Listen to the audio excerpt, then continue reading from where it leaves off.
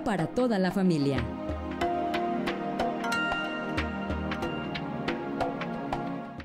La octava noticias con Jesús Escobar. Gracias por estar con nosotros. Muy buenas tardes. 88.1 de FM, el 8.1 en el Valle de México y también estamos en nuestro canal de YouTube. Suscríbase, pulgar arriba por supuesto y disfrute todos los contenidos que tenemos para usted. Entrevistas muy interesantes, análisis de Luisa Cantú, de Hernán Gómez, de Rubén Luengas. Gracias por continuar con nosotros, gracias por ser fiel a la octava y la octava digital. Esta tarde vamos a tener una interesante charla, muy pero muy interesante charla con Rodrigo Valderas sobre todo este asunto del INAI, qué puede dar a conocer el INAI, qué no, relacionada por supuesto con la petición que ha hecho el presidente de la República, pero además información, notas especiales, ya lo sabe, la marca de la octava. Quédese con nosotros.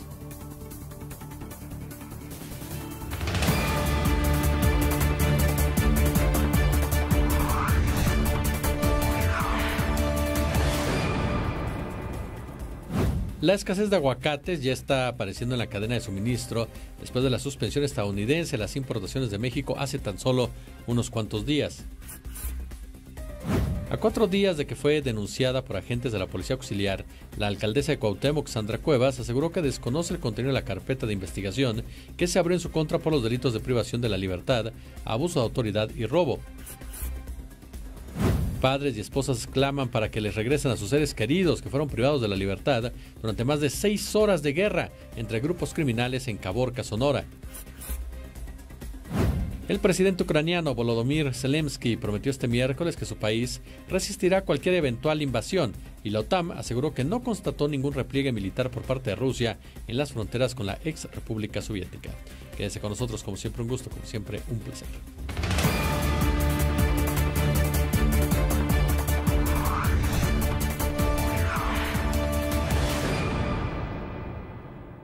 Pregunta, pregunta esta tarde, ya está en nuestra cuenta de Twitter, ya está en arroba la octava digital, para que usted platique con nosotros, para que usted nos dé su opinión. ¿Existe, desde su opinión, una agenda mediática en contra del gobierno federal? Sí, no, quién sabe. Tres respuestas claras y contundentes. ¿Le parece? En nuestro canal de YouTube, gracias a todos los que ya están precisamente conectados, que ya están participando con, con nosotros. Muchísimas gracias de verdad. Eh, por sus puntos de, vista, por sus saludos, por ser parte precisamente de esta comunidad y claro, también a los amigos de radio y de televisión. Muchas, pero, pero muchas gracias. Em, gracias a María Jesús Marichuy, gracias a Martín Guillén, Ángel Araujo, Benjamín Saucedo, anda también por acá, déjeme ver. Eh, gracias también a cada uno de ustedes, muchas gracias. Oiga, pues vamos con el reporte vial. Maneje con mucho cuidado, con mucha precaución, ya lo sabe, no se convierta, no se convierta en noticia. Reporte vial.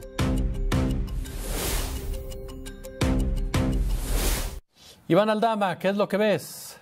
Hola, ¿qué tal Jesús Auditorio? Muy buenas tardes. Hemos revisado ya las condiciones vehiculares de la avenida México Tenochtitlán, que por ahora muestra un buen avance, sobre todo para quienes dejan atrás la avenida Insurgentes y se dirigen hacia el eje 1 poniente. Únicamente hay que tener en cuenta el constante paso de peatones a la altura de la estación del metro Revolución. En su sentido opuesto, quien deja atrás la avenida Guerrero y se dirige o pretende incorporarse a la avenida Insurgentes van a encontrar algunos rezagos en el cruce de semáforos con esta misma avenida, ya que poco a poco incrementa su aforo, sobre todo en dirección al norte de la capital. A tomarlo en cuenta y salir con bastante tiempo de anticipación. Jesús, el reporte que les tengo. Gracias, mi querido Iván. Hasta luego, buenas tardes. Gracias. La octava contigo. La octava contigo.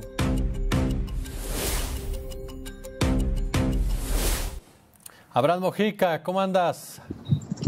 Muy buenas tardes, Jesús. Muy bien, muchísimas gracias. Qué gusto saludarte. Distintos medios de comunicación y portales de, Internet habían indicado y afirmado que se había elevado la tarifa en las casetas de peaje. Para ser específicos, en la México Pachuca, de cuatro pesos. Estamos hablando del 6.89%. Las cámaras de la octava televisión han acudido hasta el kilómetro 24 más 800 a la caseta de ojo de agua para constatar si estos precios habían sido elevados. Hasta el momento hemos percatado que todo continúa con normalidad. Un auto va a pagar 58 pesos, una motocicleta 29 y los autobuses 116 siempre y cuando sean de 2, 3 y 4 ejes. Jesús, Caminos y Puentes Federales ha indicado que no se va a dar la orden de elevar estos costos hasta nuevo aviso. Pero la empresa Golfo Centro, que es la encargada de la autopista México-Pachuca, sí le ha pedido a todos los viajeros que mantengan la calma, debido a que en distintos tramos y en ambos sentidos se encuentran haciendo obras para un mejor funcionamiento de esta autopista. Así es que les pide muchísima calma por la reducción de carriles que van a encontrar en algún momento de su trayecto. Jesús, por lo pronto, así las cosas desde la caseta de Ojo de Agua en el kilómetro 24 más 800, aquí en La Garita. Gracias, Miguel Abraham. Un saludo para ti para todo el equipo. Muchas gracias por la octava contigo. Vamos ahora con una pieza especial de la octava en el estado de Michoacán, donde prácticamente, prácticamente a diario se reportan enfrentamientos entre bandas rivales del crimen organizado.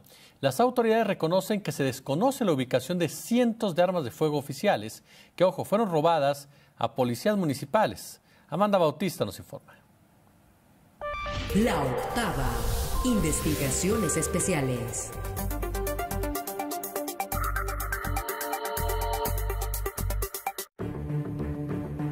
En Michoacán se desconoce la ubicación de 1.200 armas de fuego oficiales de diversos calibres, que fueron principalmente robadas a policías de municipios ubicados en la tierra caliente de la entidad, área donde prácticamente a diario se reportan enfrentamientos entre bandas rivales del crimen organizado. Tres camionetitas partimos, madre, tres rinos, ahí está el primero. A partir del año 2013, durante la conformación de las autodefensas, cuando se registraron las primeras desapariciones de armas, equipo sustraído de las direcciones de seguridad pública locales, como fue el caso de Buenavista. A la fecha dicho arsenal se encuentra sin control y podría estar en manos de los cárteles que operan en el estado, reconocen autoridades municipales. De aquí se sustrajeron muchas armas y hemos tenido eh, primero dificultades para poner al corriente esa licencia porque hay mucho armamento que no está eh, que no ha, no ha, sido localizado, que está perdido, se puede decir. Parte del armamento hoy perdido fue asignado a la extinta Policía Rural integrada por autodefensas, bajo la anuencia del entonces comisionado para la Seguridad y Desarrollo de Michoacán, Alfredo Castillo. Al desintegrarse la corporación, los elementos no las entregaron. Para este, darle forma a lo que fue la policía este, rural. En aquel tiempo armaron unos cuerpos de donde estaba Castillo, cuerpos de seguridad, y, los, los, armaron. Fueron las armas que se le entregaron a los autodefensas, eh, de manera no tan, no tan legal, vaya, porque, eh, pues como tú sabes, la licencia 206, la licencia colectiva, es destinada para los municipios, es destinada para los policías que cumplen la CUP, o sea, la certificación, y que están contratados como policías municipales, no para autodefensas o, gentes que armaron en aquellos en aquellas administraciones, en aquellos tiempos, pero que no contaban ni siquiera con una certificación. Por la desaparición de las 1.200 armas de fuego, no existía evidencia de denuncias interpuestas ante la Fiscalía General de la Federación o del Estado. Se están eh, integrando las denuncias penales porque además es necesario para el tema de la licencia. Primero, porque están extraviadas y no sabemos dónde están. Y el segundo, porque en cierta forma nos pega nuestra licencia 206, nuestra licencia colectiva 206, el hecho de no eh, darlas de baja. Durante las revisiones de la operatividad en las corporaciones policiales de las 113 demarcaciones de Michoacán, una de las constantes es que operan con arsenal irregular y sin registro dentro de la licencia oficial colectiva. Las armas eh, este, que, estén en donde no están se han dado en muchos municipios, pero particularmente en esta región es donde hay más, más este, más incidencia y por eso estamos más enfocados a, estas áreas. Con el reordenamiento de los permisos de deportación de armamento para los policías estatales y municipales de Michoacán, también se incluirá a los agentes de rondas comunitarias de localidades que se rigen bajo el esquema de usos y costumbres, quienes se hacen cargo de su seguridad. las armas son para el resguardo de la comunidad, no para la aportación personal o alguna situación así o el estilo. Si en este caso no tenemos armas, ¿con qué, con, qué nos vamos a defender? De por sí tenemos el problema ahí con este, ¿cómo se llama? Con el crimen organizado. Entre las principales demandas de los actuales presidentes municipales de Michoacán es la dotación de nuevas armas para desarrollar funciones efectivas de seguridad pública en sus regiones. Informó para la octava televisión Amanda Bautista Rodríguez.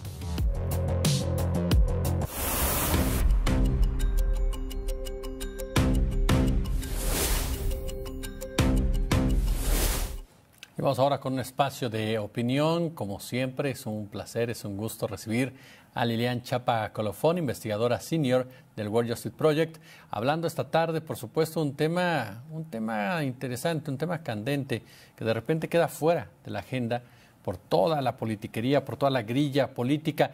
Lilian, te saludo con mucho gusto. ¿Cómo estás? Hola, ¿qué tal Jesús? Muy buenas tardes. Me da mucho gusto saludarte. Adelante, te escuchamos con tu análisis.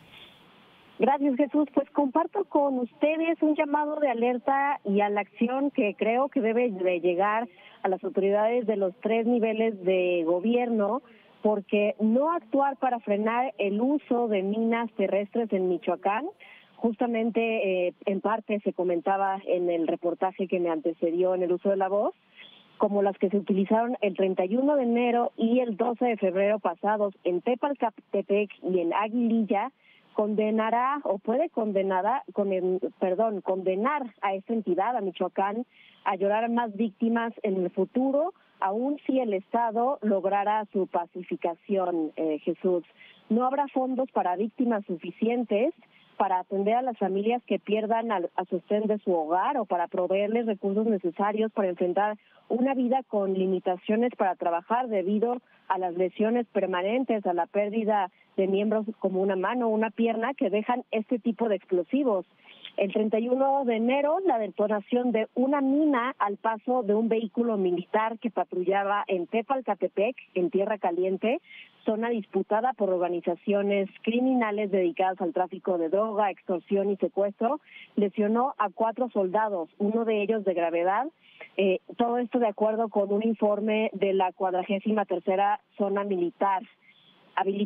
habitantes de este lugar, Jesús, que se caracteriza por ser una zona agrícola de alto valor por su producción de aguacate y limón, entre otros eh, productos de calidad de exportación, reportaron a medios de comunicación nacionales que los explosivos habrían sido colocados por los grupos criminales para evitar que el ejército avanzara en la recuperación de esos territorios.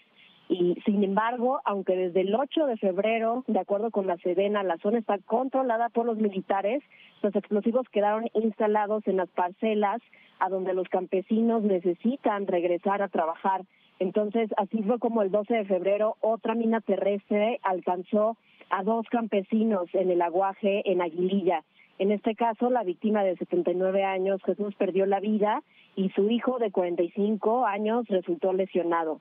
De acuerdo con el Comité Internacional de la Cruz Roja, estos explosivos pueden ser dispositivos sofisticados, pero también pueden ser fabricados artesanalmente, como los utilizados en Michoacán. Se detonan muy fácil, solo necesitan entre 2 y 6 kilogramos de peso para explotar y son de difícil detección incluso si se cuenta con tecnología para ello, porque como ahora se producen con partes de plástico, eh, esto dificulta que, se detecten con, con maquinaria que utiliza propiedades electromagnéticas. Entonces, eh, Jesús, al menos 10 países en el mundo sufren de las consecuencias de tener eh, muchos terrenos todavía minados de guerras que ya no existen, pero que siguen de, trayendo sus consecuencias muy dolorosas y, de pérdidas humanas por eh, decenas al día. Eh, y pues esto es un llamado de nuevo para que las autoridades federales, estatales y municipales realmente se dediquen a desactivar y a detectar estas minas colocadas en tierra caliente en Michoacán. Hasta aquí mi reporte, Joaquín. ya te voy a contratar entonces como te voy a contratar entonces como reportera, ¿eh? ya, ya, yo quiero ser reportera, Jesús. Perfectamente, Lilian. Te mando un abrazo y estamos en contacto. Gracias. Hasta luego. Seguimos con la voz de las expertas. Ahora es Guadalupe Correa. Muy buenas tardes. El día de hoy vamos a hablar de, del tema que, que tiene que ver con la política, la seguridad y el tema energético en el estado de Tamaulipas, México. Tamaulipas es un estado estratégico. Es un estado estratégico por su localización geográfica, su conexión, las carreteras, los puentes fronterizos con, eh, en relación a los Estados Unidos. Ha sido un estado en el cual se han concentrado actividades relacionadas con el contrabando y el narcotráfico. Aquí surgieron dos importantes grupos de la delincuencia organizada que cambiaron el panorama del crimen organizado en México, los Zetas y el Cártel del Golfo. Actualmente, el gobernador de ahora en Tamaulipas, Francisco Javier García Cabeza de Vaca, enfrenta un proceso que se encuentra congelado de desafuero, que no probablemente no se vaya a avanzar en él. El presidente el día de ayer en la mañanera no contestó porque le deja todo a la Fiscalía General de la República. Eh, se le acusa de vínculos con la delincuencia organizada, enriquecimiento ilícito, el tráfico de influencias y quizás otros delitos. No ha sucedido nada, el gobernador está amparado. Mientras tanto, eh, en el estado continúan los eventos trágicos, eh, los, las desapariciones. Eh, un político mexicano, el Mijis, fue desaparecido en el estado y siguen desapareciendo personas en la carretera de Nuevo Laredo a Monterrey. Se siguen registrando eventos complicados y se dice que la policía estatal está vinculada con algunos grupos de la delincuencia organizada y que se ha dedicado desde hace ya varios años también a delinquir y se le relaciona con cuestiones de desaparición forzada. En este caso, no sabemos qué es lo que está sucediendo. El gobernador eh, que se encuentra en esta situación continúa gobernando, continúa relacionándose con actores eh, de primer nivel en los Estados Unidos, se saca la foto y este no, no se enfrenta un proceso eh, porque no, no, se entiende, no, no, se avanza. La Fiscalía General de la República y el sistema judicial pues, han entrado en, un, en una situación muy complicada pero también el tema energético es un tema fundamental. Se relaciona a la familia del gobernador con em, actividades irregulares en esta área y bueno, este, como sabemos, el tema de los hidrocarburos, el tema también de las energías aparentemente limpias, las eólicas, tiene un, un, proceso fundamental en el estado de Tamaulipas. ¿Qué va a pasar con Tamaulipas? ¿Qué va a pasar con su gobernador, con esa clase política y con las instituciones que aparentemente, según lo que, lo que nos han reportado, estuve ahí este fin de semana pasado y bueno, eh, los aparentes casos de corrupción, eh, el tráfico de influencias y el, aparente, la aparente relación de la policía y el aparato judicial tamaulipeco y el, el, electoral, el electoral para no dejar que la democracia fluya. En realidad, eh, ¿qué va a ser el Poder Ejecutivo? ¿Qué va a ser el Poder Judicial?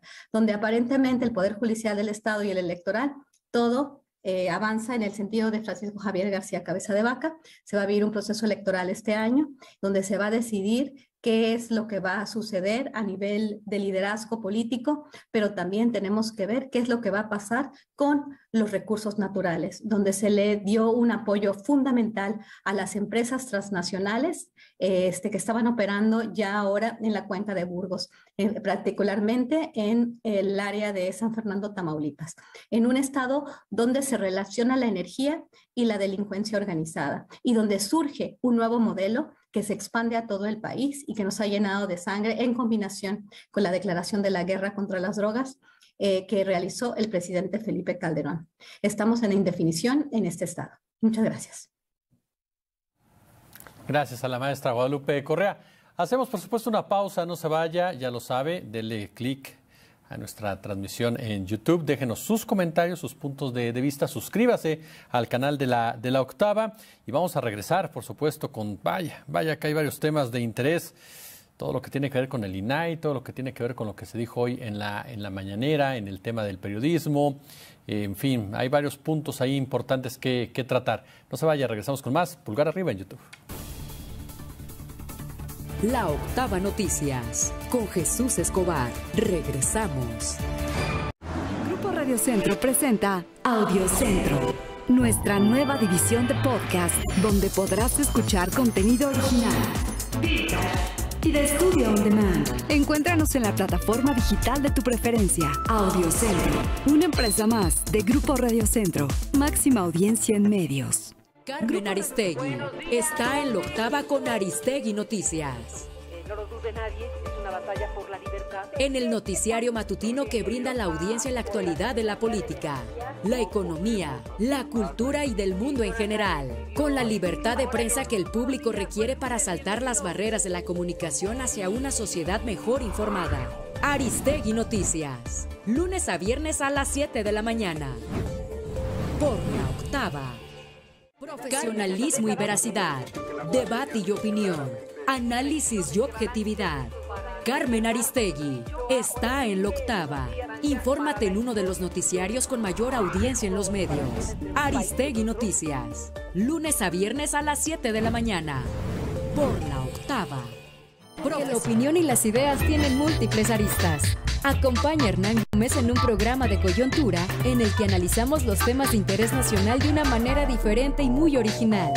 El Octágono, un lugar de debate y entrevistas con los representantes de diferentes sectores y posturas políticas, en el que cada uno aporta en un programa hecho para todos.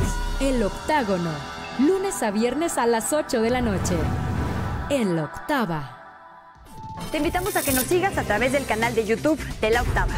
No te pierdas ninguno de nuestros contenidos noticiosos y de debate donde quiera que te encuentres a la hora que sea en el canal de YouTube de La Octava. En tu celular, tablet, laptop, Smart TV, en cualquier dispositivo. Suscríbete y sé parte de nuestra gran comunidad de más de un millón de integrantes que, por cierto, ¿eh? sigue, sigue creciendo Síguenos también en nuestras redes sociales, por supuesto. Sigamos construyendo juntos en la era digital. Porque estamos más fuertes que nunca. La octava. Estoy. Yo soy Luisa Cantulíos y en nombre de todo este equipo le agradezco muchísimo su sintonía. A nombre de todo el equipo aquí reunido, muchas gracias. Muchas gracias a todos los que nos honran con su preferencia. Gracias por acompañarnos a nombre de todo este gran equipo. Como siempre, un gusto, como siempre. Hoy nuestro mensaje es sencillo. Gracias. Gracias por ser parte de nuestra comunidad. Gracias por confiar en nosotros. Gracias a ti llegamos al millón de suscriptores. Hoy somos más fuertes que nunca y lo somos porque somos equipo, un equipo que construye y seguirá construyendo en la era digital. Gracias a ti es que estamos llegando al millón de suscriptores. La octava sigue creciendo. La octava no se detiene. Sigamos creciendo juntos. Y como siempre te recuerdo que el que busca la verdad corre el riesgo. Antonio Vico, muchas gracias, hombre, que te tomas. Juan Polainas, gracias. Serapio Cruz. Había un personaje, ¿no? En una película mexicana que era Juan Polainas. Me parece que sí. Mar, muchas gracias. Eh, Tony 3, gracias. Future Blue, muchas gracias. Serapio, también gracias por tu comentario. Isela, gracias. Eh, también por acá otro más de los que no hemos saludado. Mar, como siempre, gracias. Julia Arenas, gracias por estar con nosotros. Gracias, por supuesto, también por acá. Ah, muchas, muchas gracias también por sus comentarios. Este, Martín, gracias. Carmen Castañeda, gracias. En fin, mucha, Ricardo Yera, muchas gracias. Qué buen gusto tienes para ver lo octava, gracias. Oigan, pues voy con el tema del de, eh, Estado de México. Fíjese bien, antes de ir con todo esto del INAI, porque el nombrado fiscal del Estado de México en 2014 durante. ¿Quién era? Era Rubiel Ávila, ¿no? Durante el gobierno de Rubiel Ávila, hablamos de Alejandro Gómez Sánchez, pues ya renunció. Ya renunció al órgano que dirigió por dos periodos para atender, dice, asuntos personales. Usted recuerda, porque no es algo que se descubre el hilo negro, es algo incluso que se publicó, las diferencias que en algún momento hubo entre Rubiel Ávila y el famoso grupo Atlacomulco. Aún y cuando todos formaban parte del mismo, porque bueno, a final de cuentas Rubiel Ávila no era eh, parte del grupo descendiente, es decir, familiar, que traía encima personajes como Arturo Montiel, como el propio Enrique Peña Nieto o el actual mandatario del Estado de México. Vamos directamente con Arturo Calleja, él tiene más para usted. Alejandro Gómez Sánchez renunció este miércoles al cargo de fiscal general de justicia del Estado de México y entregó por escrito el documento en la Cámara de Diputados mexiquense. Esto se da a 20 meses para que concluyera su periodo. En su anuncio emitido en la sede de la Fiscalía Estatal, sostuvo que deja la titularidad para atender asuntos personales. La función de Procuración de Justicia es altamente compleja y exige una dedicación absoluta. Naturalmente, el cargo de fiscal general de justicia conlleva un desgaste personal, físico y emocional, así como en lo profesional. Es por ello que a partir de una reflexión personal, así como con mi familia y colaboradores, tengo la certeza de que es momento de cerrar este ciclo después de casi ocho años al frente de esta institución. Gómez Sánchez indicó que al estar al frente de la Fiscalía General de Justicia del Estado de México, la incidencia delictiva se contuvo en varios delitos y en otros se redujo. Incrementamos la eficiencia en la dedicación a procesos penales en delitos de alto impacto, así como las sentencias condenatorias, incluso varias con pena vitalicia por los delitos de feminicidio y homicidio doloso. La institución ya cuenta con un grado importante de especialización en la investigación que tenemos en delitos de género. Somos un referente nacional en el combate al secuestro y en el modelo de justicia restaurativa. Contamos con capacidades institucionales para generar productos de inteligencia.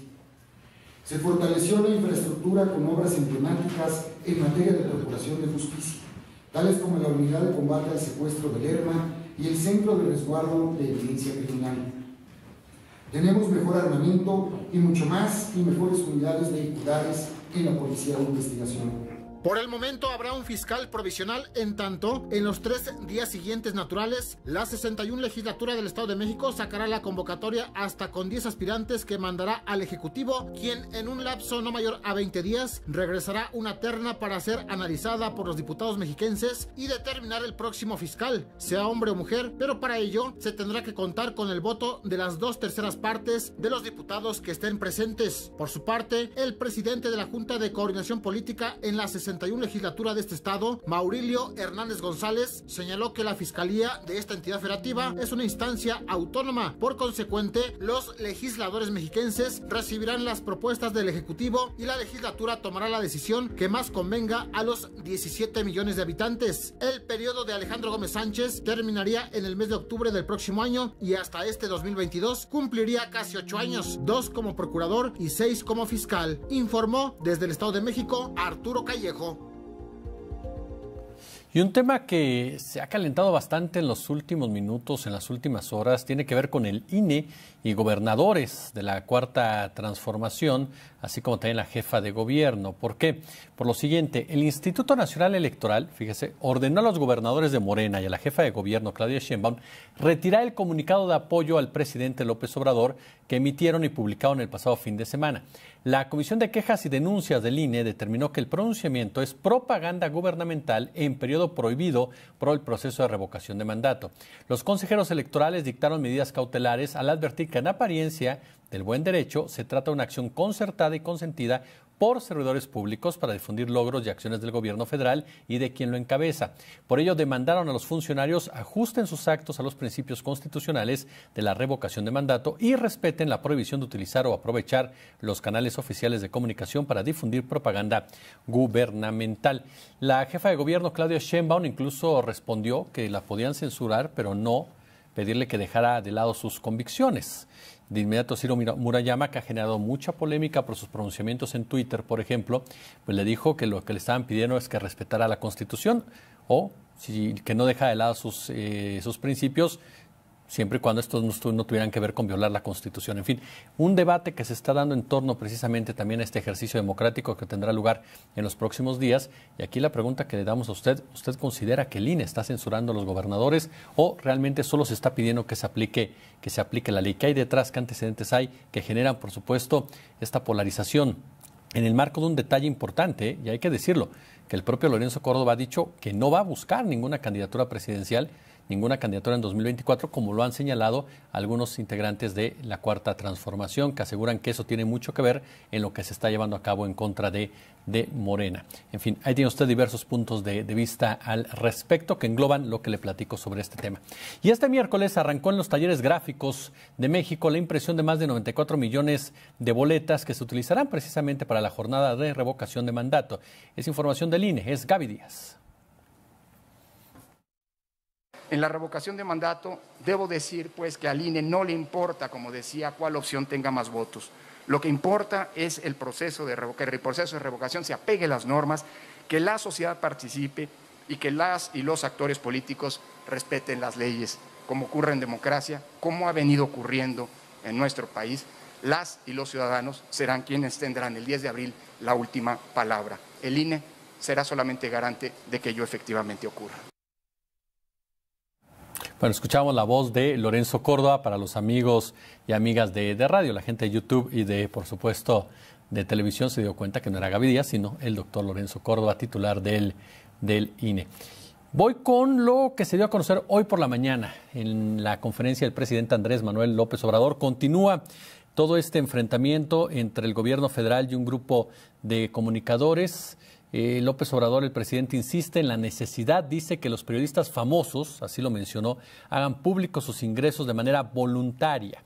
Vamos a escuchar qué fue lo que pasó precisamente en la mañanera en esta crónica con nuestra compañera Elia Almanza. El presidente Andrés Manuel López Obrador aseguró que, por ética, periodistas famosos deben informar cuánto ganan, sin necesidad de que intervenga el INAI u otro organismo. En su conferencia de prensa matutina, insistió en que deben hacerse públicos los ingresos, a pesar de las prohibiciones que se establecen en la Ley de Protección de Datos Personales. Que la gente tenga información, ¿por qué nada más van a informar los servidores públicos? Dicen, es que ellos eh, son privados. No. Sus ingresos tienen que ver con el presupuesto y con bienes públicos y con la política, que es un oficio público. Aseguró que, aunque el INAI no deja hacerlas públicas, él tiene en sus manos toda la información y pruebas de que algunos periodistas están involucrados con otros negocios de donde reciben ingresos millonarios. Y agregó que sería muy bueno que se den a conocer sus bienes, por lo que ya está solicitando información al respecto. En el caso Loret de Mola, no es un asunto de afectar o dar a conocer lo que gana un periodista, es que ese periodista está vinculado, entre otros negocios, con el de la venta de medicinas de equipos médicos. Estoy pidiendo también que se dé a conocer bienes del registro público de la propiedad, porque están inmensamente ricos.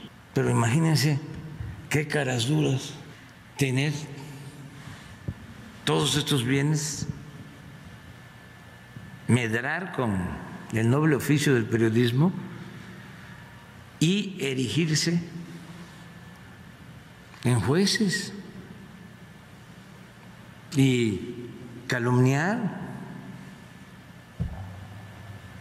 destruir Hizo referencia al rumor sobre la salida de Ciro Gómez Leiva de su noticiero, pero señaló que eso es un tema entre la empresa y el periodista, en donde no tiene nada que ver porque su gobierno no censura ni reprime a nadie por su trabajo en los medios. Antes de terminar la conferencia, un compañero reportero le dijo al presidente que en protesta por los periodistas asesinados y en solidaridad con las y los reporteros que cubren el Congreso y que se manifestaron el día de ayer, se abstendrían de hacerle más preguntas. Este día no le queremos formular preguntas en solidaridad con estas acciones que hizo el gremio periodístico en el Poder Legislativo el día de ayer. Queremos replicarlo. A estos dichos se sumaron las y los reporteros de la fuente, quienes al interior de Palacio Nacional de esta forma protestaron. ¡Nos queremos con vida! Para la octava, Elia Almanza. Ahora, algo que es determinante, incluso editorialmente, es separar el tema Loret de Mola, López Obrador, del tema de la violencia contra periodistas. Son dos temas que van aparte. ¿eh? Uno tiene una connotación netamente política, el otro es una triste realidad que no encuentra solución desde hace muchos sexenios y que es un abandono real en contra de reporteros, reporteras, incluso en cuestión de derechos laborales, no solamente su violencia. Ese es un tema y otro tema es el enfrentamiento que se vive entre el gobierno federal y un grupo como López Dóriga o el propio Loret de Mola, ¿no le parece? Oiga, y también en la conferencia eh, mañanera, el presidente López Obrador reconoció que Televisa no le pagó al periodista Loret de Mola 11.8 millones de pesos, como aseguró el viernes pasado. Informó que de manera directa y personal, la televisora le aseguró que no mantenía una relación laboral con el periodista desde 2019. que por cierto de Televisa aclararon, no públicamente, sino este, de manera personal, de que ellos eh, ya no tienen relación desde el 2019 con Loret de Mola. Estos 11.8, Televisa dice que no este, se los entregó a, a Loret. Y sí, es otra empresa, no recuerdo su nombre, que es a la que le vendió Televisa la W. O sea, esa empresa, o sea, esa radiodifusora, no sé si es Radiopolis y, la, la, otra empresa, creo que esta Radiopolis es, esta es Prisa, sí, y esta de Televisa la vendió a Cabal Peniche. Entonces, en efecto, aquí son ocho y medio de esa otra empresa, de Cabal, no de Televisa, porque estuve revisando los documentos. Y Televisa tiene eh, en este año dos millones y medio. O sea, sí tiene.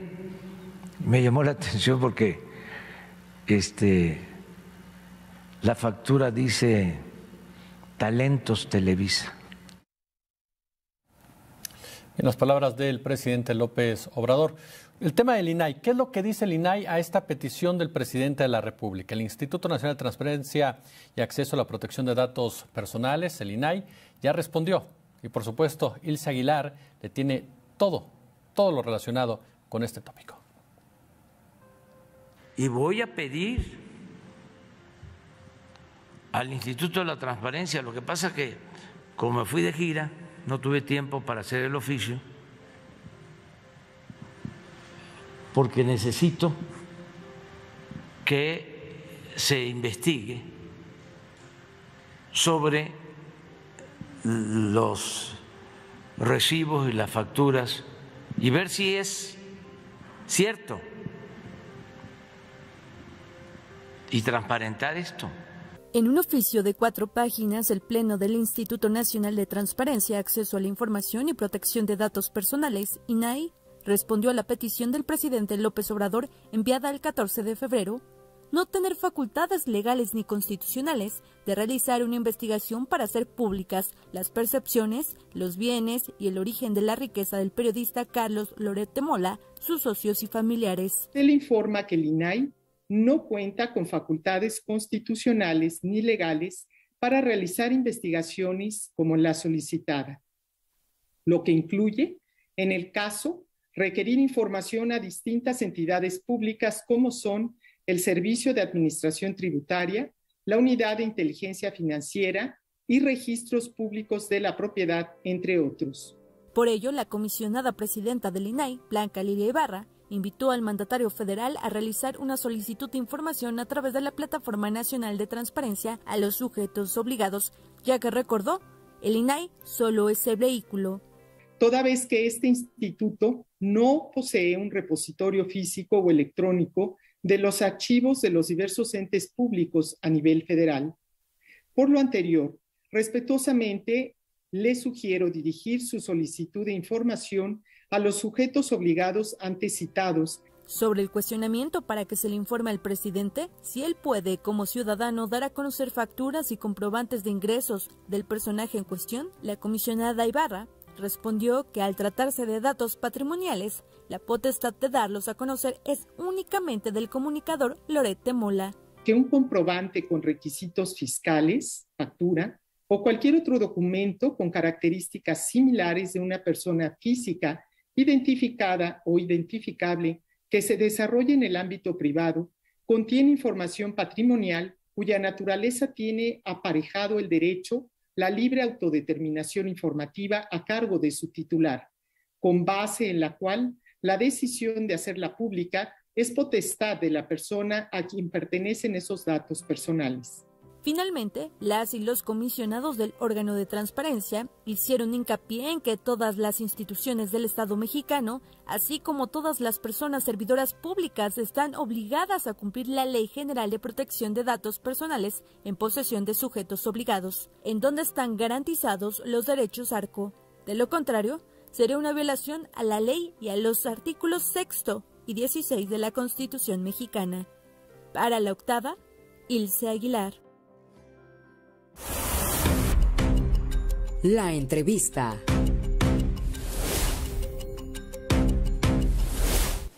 Mi querido Ricardo Valderas, periodista de investigación en Poder, ¿cómo andas?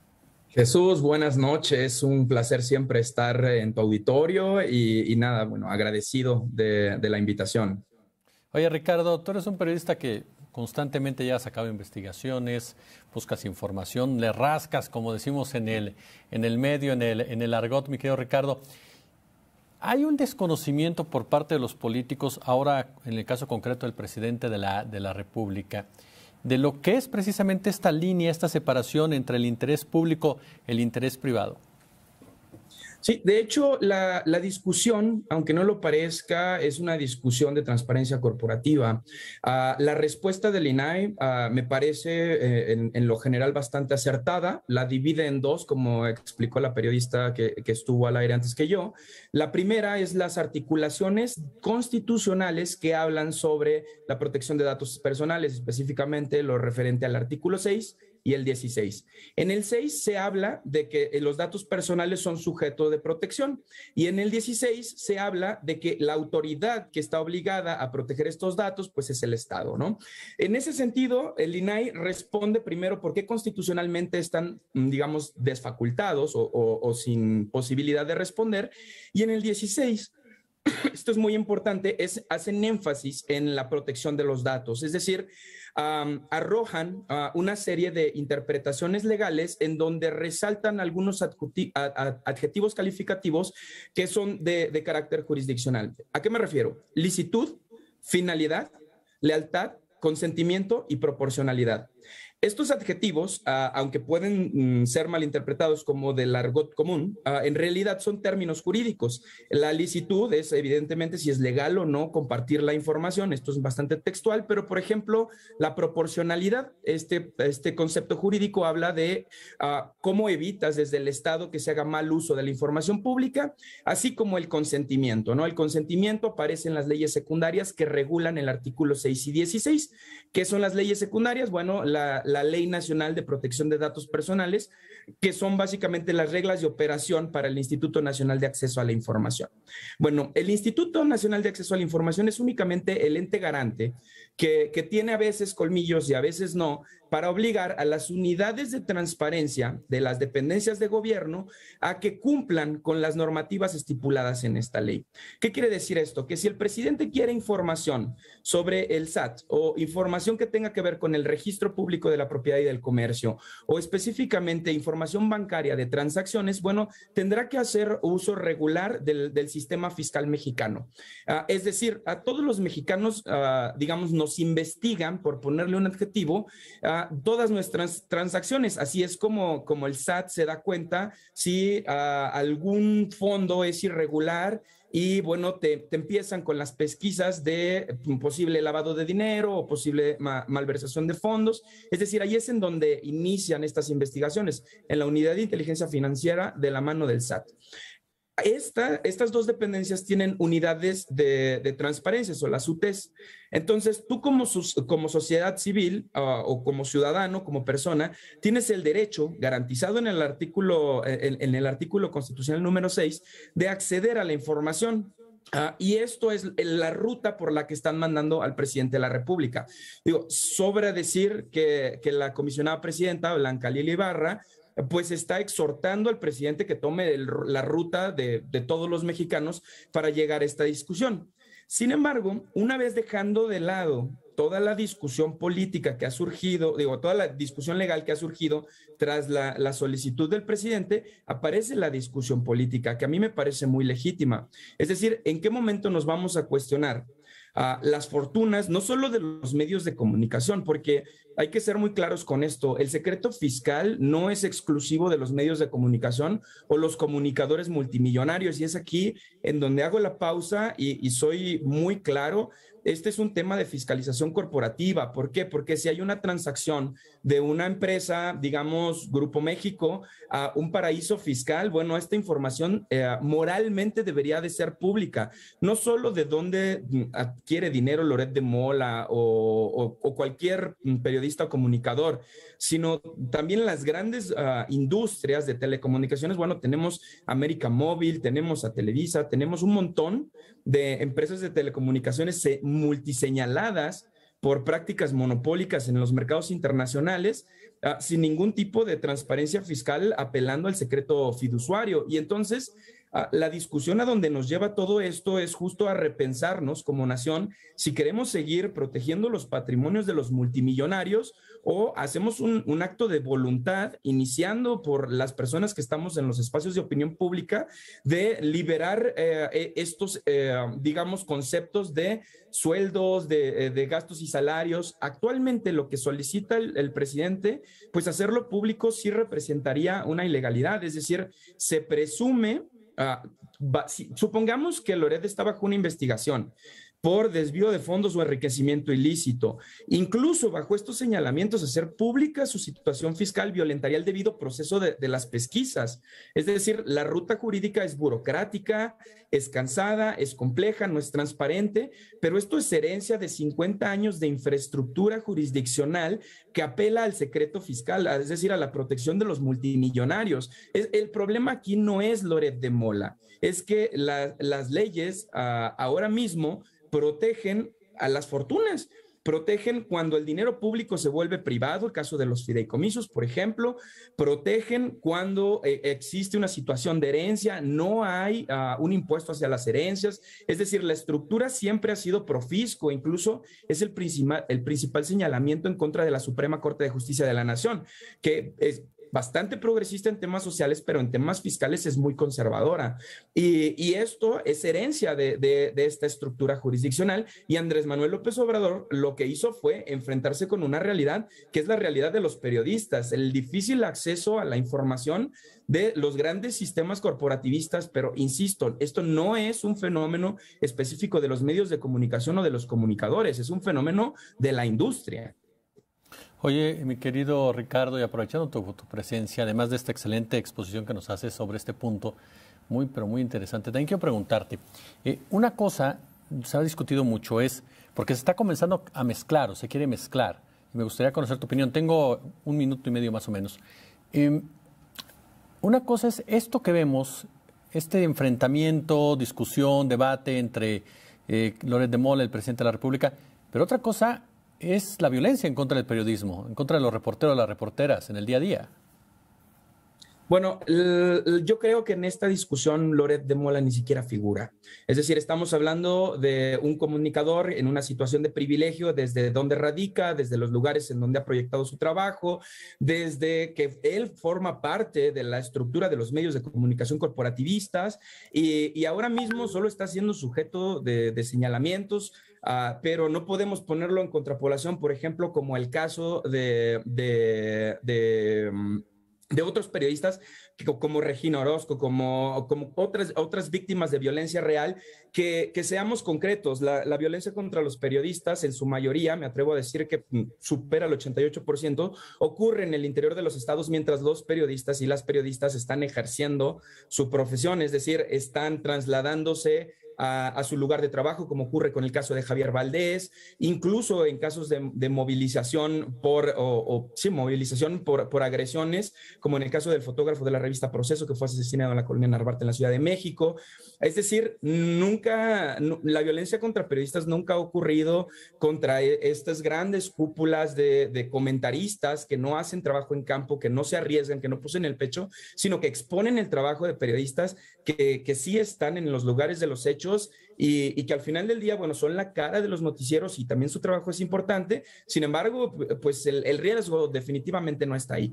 Eh, podemos decir que mm, puede ser inmoral uh, subirse a la tribuna presidencial a enfrentarse con la opinión pública a otros medios de comunicación. Claro que lo podemos decir porque es un espacio de poder ejerciendo otro, uh, digamos, eh, violencia contra otro poder sin embargo, la problemática de la violencia contra los periodistas está muy lejos de ese lugar y, a mí, en lo personal, ni siquiera me gusta aterrizar la discusión ahí. Tenemos otros, otros problemas muy graves, como es la precariedad laboral, como la, sistematización del, acceso a la información, la ineficacia del Mecanismo Nacional de Protección a Periodistas, uh, es decir, N cantidad de, de problemas. Es decir, ahora mismo la Secretaría del, Trabajo ni siquiera tiene un tabulador de cuántos periodistas en el país están adscritos a los servicios de seguridad social y no hay ningún programa federal que nos garantice esto, a pesar de que estamos ejerciendo nuestro derecho como periodistas y además ayudando al país a que se tenga acceso al, derecho a la información, que es un derecho humano. Eh, es decir, e, e, este, este, esta discusión parece mínima, ¿no? En frente a la realidad del periodista de a pie. Mi querido y admirado Ricardo Valderas, periodista de investigación en Poder, yo como siempre te agradezco la generosidad con la octava. Jesús, bueno, siempre un gusto estar contigo y con tu auditorio. Nos vemos pronto. Nos vemos pronto. Gracias, Ricardo. Hasta luego. Pausa, regreso. La octava noticias con Jesús Escobar. Regresamos. Fentanilo. No te pierdas el octavo. Estamos muy contentos porque nuestro proyecto va para arriba. Ya somos un millón en YouTube. Tú también suscríbete a la octava. Te invitamos a que nos sigas a través del canal de YouTube de la octava. No te pierdas ninguno de nuestros contenidos noticiosos y de debate donde quiera que te encuentres a la hora que sea en el canal de YouTube de la Octava. En tu celular, tablet, laptop, Smart TV, en cualquier dispositivo. Suscríbete y sé parte de nuestra gran comunidad de más de un millón de integrantes que, por cierto, ¿eh? sigue, sigue creciendo. Síguenos también en nuestras redes sociales, por supuesto. Sigamos construyendo juntos en la era digital. Porque estamos más fuertes que nunca. La octava. Estoy bajes la guardia, sube el cubrebocas, vacúnate y sigue con la sana distancia. Usar el cubrebocas es muy importante para evitar contagios, pues el virus se propaga por el aire que respiramos. La vacuna es un gran apoyo de inmunidad contra el COVID-19. Vacunarte tiene altos porcentajes de efectividad contra el virus, rompiendo la cadena de contagios. Evitar lugares aglomerados y respetar la sana distancia son igualmente métodos efectivos para evitar contagiarnos. No bajes la guardia, sube el cubrebocas, vacúnate y sigue con la sana distancia. No bajes Radio Centro presenta Audio Centro, nuestra nueva división de podcast donde podrás escuchar contenido original y de Estudio On Demand. Encuéntranos en la plataforma digital de tu preferencia. Audio Centro, una empresa más de Grupo Radio Centro. Máxima audiencia en medios. Grupo Carmen Aristegui está en la octava con Aristegui Noticias. Eh, no lo dude nadie, batalla por la libertad. En el noticiario matutino que brinda la audiencia en la actualidad de la política, la economía, la cultura y del mundo en general, con la libertad de prensa que el público requiere para saltar las barreras de la comunicación hacia una sociedad mejor informada.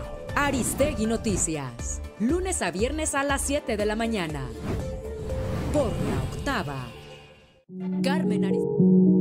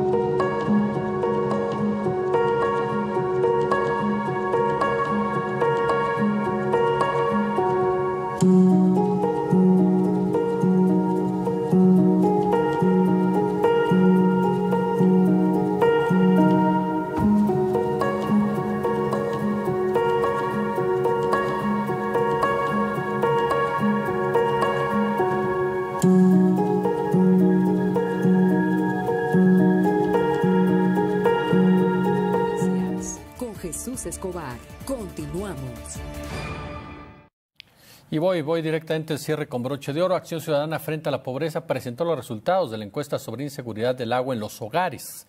¿De qué se tratan estos datos? Elia Almanza, te saludo con mucho gusto, Elia. Hola, ¿qué tal Jesús? Muy buenas tardes. Te saludo con gusto también y al auditorio. Pues en uno de cada tres hogares en nuestro país se vive inseguridad de agua. Es decir, que cuando abren la llave de su casa, pues simplemente no llega, no cae este líquido vital para satisfacer necesidades básicas como aseo personal, cocinar, lavar ropa, y esto representa el 32% de los hogares mexicanos. Fueron los resultados de la encuesta de inseguridad de agua en los hogares realizada por la Universidad Iberoamericana y presentada esta tarde por Acción Ciudadana frente a la pobreza y el INEGI, en la cual muestra que el acceso real y efectivo del agua pues implica más cosas que una infraestructura hídrica, es decir, que va más allá de tener una tubería. Aseguraron que el acceso implica otras dimensiones como las económicas, regionales, culturales e incluso de género. La inseguridad de agua se trata del derecho que tenemos las personas y ah, pues que tengamos esta agua y que nunca falte en nuestra casa al momento de abrir una llave. Durante la presentación de este estudio, Jesús Auditorio, la doctora Graciela Teruel de la Universidad Iberoamericana señaló que los indicadores actuales de medición pues son insuficientes. Vamos a escuchar. Preocupación por tener agua para todas las necesidades. 72%, 7 de cada 10 hogares en México dice tener preocupación por tener acceso a agua para todas las necesidades. Interrupción de fuente principal del agua, 74%, por arriba de 7 de cada 10. No tuvo agua potable en su hogar, 48%. Casi uno de cada dos hogares en México no tuvo agua potable en su hogar. Para lavar la ropa, 69%. Tuvo que cambiar de planes porque no tuvo acceso a agua en ese momento, 46%. No tuvo agua para cocinar, 44%. Y bueno, H-Wash, eh, Jesús, es la medición que se utilizó para este estudio y aseguraron es la más integral, la cual atiende varias dimensiones. Es la dimensión de pobreza más reciente de agua, señalaron, indica que el solo 6% de la población tiene carencia en acceso a agua a la vivienda. Sin embargo, este estudio que utiliza una escala más amplia y que mide pues un factor con perspectiva de derechos humanos, pues tiene un resultado de 32%, por lo que dijeron se tienen que cambiar los parámetros de dimensión del acceso al agua en nuestro país. Y bueno, eh, Jesús, esa es la información, seguiremos al pendiente.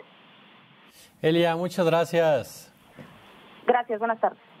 La respuesta, la respuesta por supuesto a la pregunta que le hicimos esta tarde. ¿Existe una agenda mediática en contra del gobierno federal? Bueno, 73% de ustedes me dicen que sí. Su punto de vista siempre respetado y escuchado en la octava. Y nos vamos, radio, televisión e internet, como siempre un gusto, como siempre un placer.